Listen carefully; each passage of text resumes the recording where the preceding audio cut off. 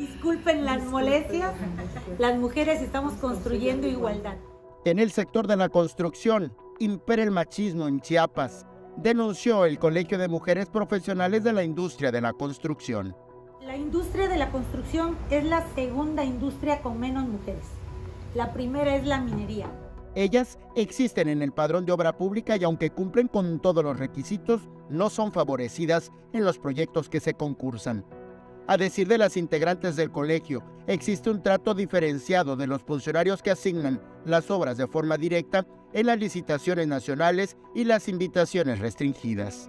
Siempre hay la oportunidad en la evaluación de propuestas de decidir entre dos o tres personas y como queda criterio, a veces es más fácil decidir por los varones que por las mujeres, aunque se cuente con la misma capacidad.